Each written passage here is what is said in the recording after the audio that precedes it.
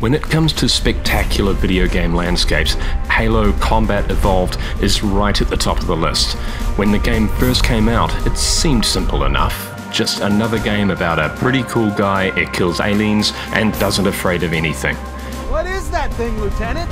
Hell if I know. We're landing on it. But what we got was so much more. A superbly satisfying console shooter with unmatched visuals, a deep and smartly written lore, and a supposedly super intelligent and inexplicably naked AI companion who, in retrospect, is supremely gifted in pointing out the blindingly obvious. This cave is not a natural formation. What's fascinating to me is how Halo went beyond the beautiful alien landscapes of the ring world itself and blew up in the collective consciousness, redefining how people interacted with games, creating new, priceless cultural artifacts. Hey. Yeah? You ever wonder why we're here? So, with the release of Halo Anniversary on PC, Halo Infinite on the way, s- seriously, just just look at it. And the actual real world under threat from an exponentially multiplying mindless alien parasite, I figured the time was right to try doing a painting inspired by one of the most iconic game franchises of all time.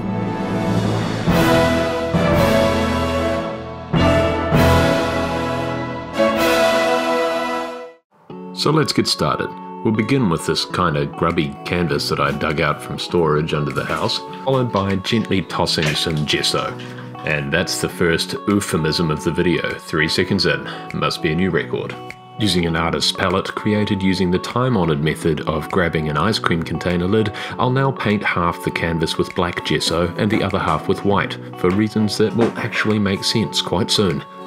And now it's about time to flick some stars into existence, followed by creating a couple of stencils out of the kind of fake marble contact paper most commonly used by desperately bored middle aged Karens to redecorate their kitchens. Incidentally, my dad's wife is called Karen and she's a lovely woman. I'm sorry the internet hit on your name as a universal pejorative for horrible boomers. Stencil in place, we're going to paint the titular halo, and now that I look at it, the majestic ring rising above the horizon kind of looks like butt cheeks in a thong, and now that I can't unsee it, I hope you can't too. But now it's time for the most satisfying moment in my life after my wedding day, and I'm just gonna let you enjoy this. Oh yeah! Can't believe how good that looks. Nailed it. Things are going suspiciously well.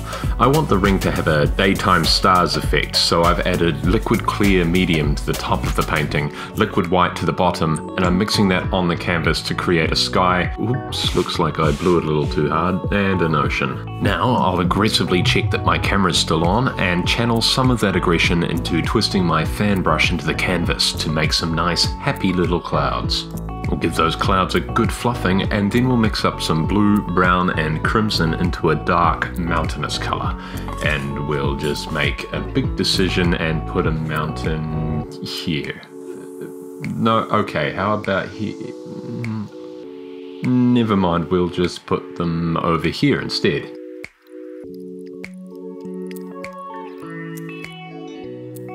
Those are starting to look pretty nice and icy, so let's go back to the side of our earlier mountain indecision decision, take a deep breath, and there we go. A big splotch of black all over the canvas. Thin out the base a bit, add some titanium white snow, and now they look more or less like mountains. Pop a shadow on the non-starlit side, give the base of the mountains a nice sensual tapping, and then we'll use a fan brush to add some forests and greenery to the bases of each mountain range. Finish the forests, add just the gist of mist to the bases, and now refer to your sketchbook and drum your fingers anxiously while you try to figure out what's wrong with this picture, because something definitely is. I think I've figured it out. That mountain needs to be marginally less majestic.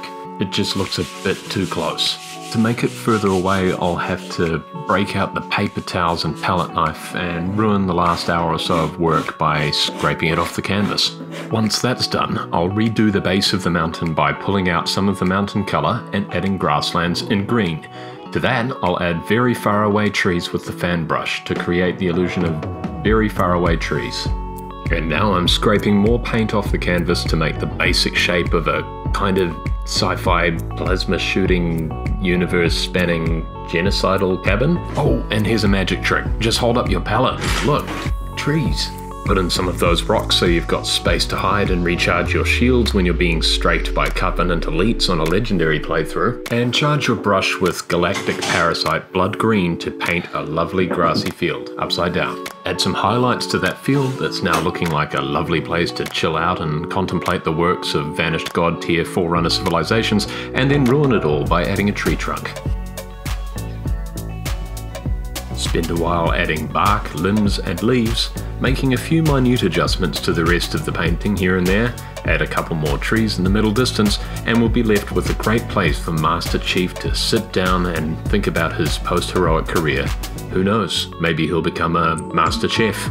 Unfortunately, this bit of the painting is working about as well as the storyline of Halo 5, so we're going to do the sensible thing and completely rework it. We'll just scrape off that abomination and create the shape of a Halo Combat Evolved era Mjolnir Mark V Spartan helmet. That looked easy, didn't it? Yeah, nah, it actually took me about two days. The frustration got to a point where things got a bit weird and I started procrastinating by making truly terrible memes.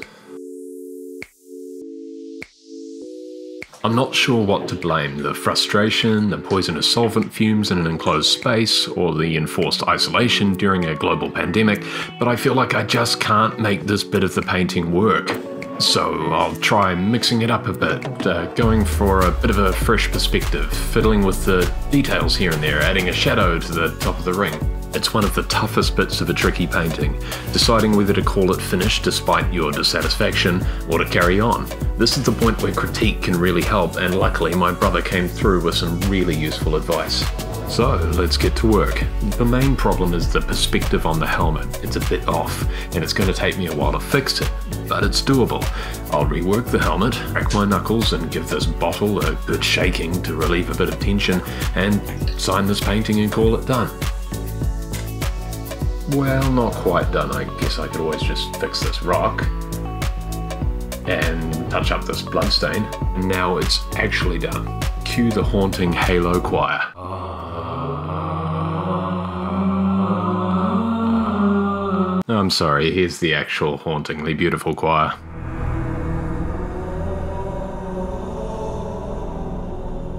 Thanks for watching.